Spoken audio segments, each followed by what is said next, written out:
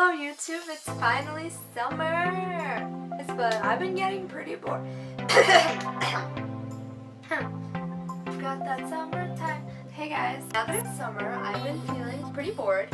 So I decided to make a time capsule. So come along with me and as I make my time capsule and I hope this inspires you to make one too. So the first thing I'm putting in my time capsule is a letter to my future self.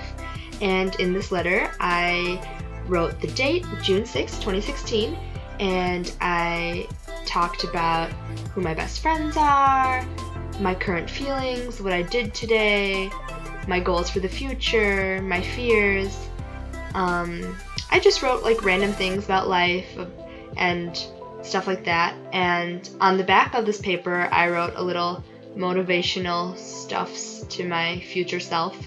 Um, in this video, it might look like I'm not writing anything. That's because in my actual letter to myself, you know, I got pretty personal. So yeah, that's what's happening right now. So here I'm just folding up my letter and getting it ready to be placed uh, in my time capsule box. Then I started adding things to my time capsule.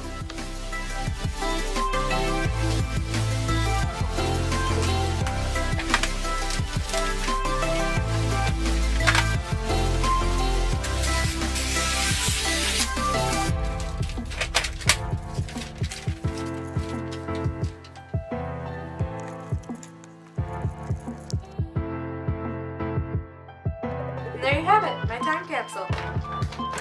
So I'm gonna go bury this somewhere in my room and open it in 10 years.